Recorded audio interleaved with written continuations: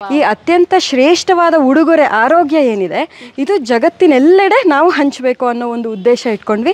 ಅದು ಹೇಗೆ ಅಂತಂದರೆ ಕೈಗೆಟುಕುವ ರೀತಿಯಲ್ಲಿ ಕೈಗೆಟುಕುವ ಬೆಲೆಯಲ್ಲಿ ಸಿಗಬೇಕು ಅನ್ನೋ ಒಂದು ಉದ್ದೇಶದಿಂದ ಶುರು ಮಾಡಿದ್ದೆ ಈ ಮಿಲೆಕ್ಸ್ ಅನ್ನೋ ಸಂಸ್ಥೆ. ಗೆಲುವು ಅನ್ನೋದೇ ಹಾಗೆ. ಅದು ತುಂಬ ಈಸಿಯಾಗಿ ಸಿಕ್ಬಿಟ್ರೆ ಜಸ್ಟ್ ಮುಖದಲ್ಲಿ ಮಂದಹಾಸ ಇರುತ್ತಂತೆ.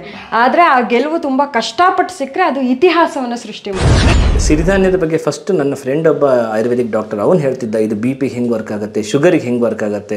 ಸಿರಿಧಾನ್ಯದ ಟೇಸ್ಟ್ ಏನು? ನೀವು ಹೆಂಗೆ ತಿನ್ಬೋದು? ಎಲ್ಲ ನನಗೆ ಗ್ಯಾಸ್ಟ್ರಿಕ್ ಇದ್ದಿದ್ದರಿಂದ ಅವ್ನು ಯೂಸ್ ಮಾಡು ಅಂತ ನನಗೆ ಫಸ್ಟ್ ಹೇಳಿದ್ದು. ಸಿರಿಧಾನ್ಯ, ನವಣೆ, ಕೊರಲೆ, ಅರಕ, ಸಾಮೆ, ಊದಲ್ಲೂ ಯಾವುದು ಹಾಕೋದೇ ಇಲ್ಲ, ಬರಗು ಯಾವುದು ಯಾಕಂದ್ರೆ ಫೈಬರ್ ಕಂಟೆಂಟ್ ಜಾಸ್ತಿ ಇರುತ್ತೆ. ಮೂರು ವರ್ಷದ ಒಳಗಿನ ಮಕ್ಕಳಿಗೆ ಅಷ್ಟೊಂದು ಜೀರ್ಣಶಕ್ತಿ ಇಂಪ್ರೂವ್ ಆಗಿರಲ್ಲ. ಸೊ ಅವರಿಗೆ ಏನಾದರೂ ಪ್ರಾಬ್ಲಮ್ ಆಗೋಕ್ಕೆ ಶುರು ಆಗುತ್ತೆ ಹಾಗಾಗಿ ನಾವು ಸಿರಿಧಾನ್ಯನ